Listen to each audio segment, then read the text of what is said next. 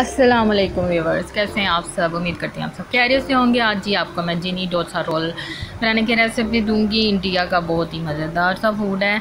इसको कैसे बनाते हैं, मैं आपको सारा कुछ बताऊँगी। पहले मेरे चैनल को सब्सक्राइब कर दिए, कर दीजिए। जी, इसको बनाने के लिए आपको चाहिए डोसा बैटर जो कि चावल के आटे का होता है। उसको एक पतला सा लिक्विड बना लें।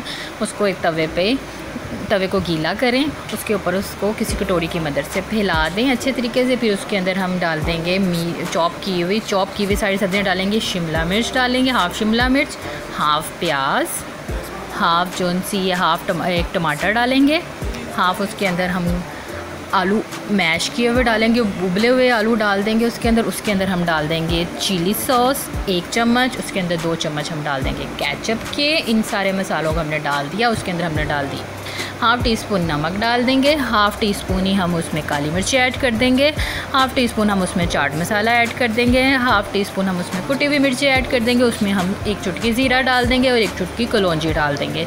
इन सबको फिर हम मैशर की मदद से अच्छे तरीके से डोसे को फैला के सारे सामान को उसके ऊपर डालेंगे और उसको उसके ऊपर ही अच्छे तरीके से मैश कर लिए मुंबई का बहुत ही शानदार फेवरेट हर किसी का पसंदीदा स्ट्रीट फ़ूड है। जिनी डोसा, ये सब लोग बहुत पसंद करते हैं, बहुत मसालेदार बनता है और बहुत ही क्रंची होता है। जो डोसे की बेस होती है, वो बहुत ही क्रंच हो जाती है इतनी देर में। ये देखिए आपने मैशर की मदद से सारी चीज़ों को मिक्स करते रहना है। सारे नमक, मिर्चे जो से हमने इसमें मसाले ऐड किए वो सारे इकट्ठे हो जाएँगे आलू की पिटी के अंदर। जो हमने बॉयल आलू डाले थे मैश बॉयल पोटैटो डाले थे, वो भी अच्छे तरीके से इसके अंदर मिक्स होते जाएँगे। सब चीज़ें एक जान हो जाएँगी। उसके बाद फिर हम उसको पूरे डोसे के ऊपर फैला लेंगे अच्छे तरीके से। कैचअप भी अंदर, ये जो रेड कलर आ रहा है, वो कैचअप की वजह से आ रहा है। एक चम्मच हमने इसमें चिली सॉस का भी डाला था।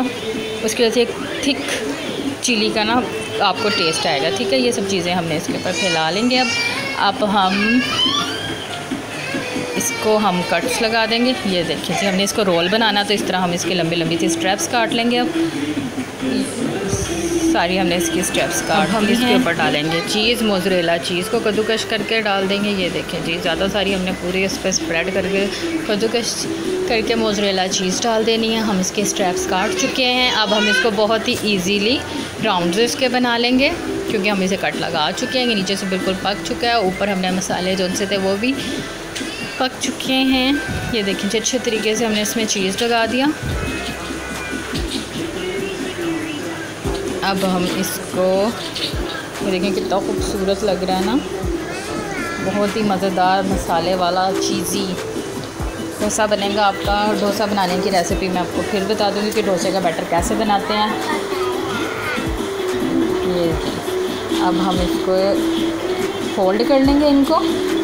और फोल्ड करके हम इसको प्लेट में निकालेंगे और ऊपर से आप इसे बटर डाल के और कैचअप के साथ या ग्रीन चटनी के साथ इंजॉय कर सकते हैं और ऊपर से भी थोड़ा सा चीज़ इस पर डाल सकते हैं। उम्मीद करती हूँ आपको मेरी वीडियो अच्छी लगेगी। अच्छी लगेगी तो सब्सक्राइब लाजमी कीजिएगा कमेंट भी कीजिएगा और फ्रेंड्स एंड फैमिली के साथ शेयर भी कीजिएगा और दुआ में याद रखिएगा। अल्लाह हाफ़